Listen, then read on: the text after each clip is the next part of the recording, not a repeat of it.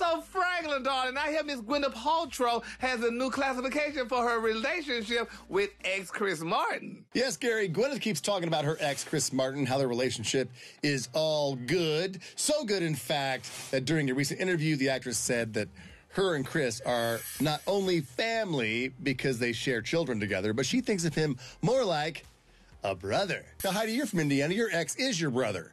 That's true. I don't talk a whole lot about it, yes, but my my first boyfriend and really only boyfriend Joe is my brother. But okay, of your exes, Yeah. uh, what do you think they would say? Uh, finish the sentence. She's like my blank. She said, "I if if I could, I would erase you."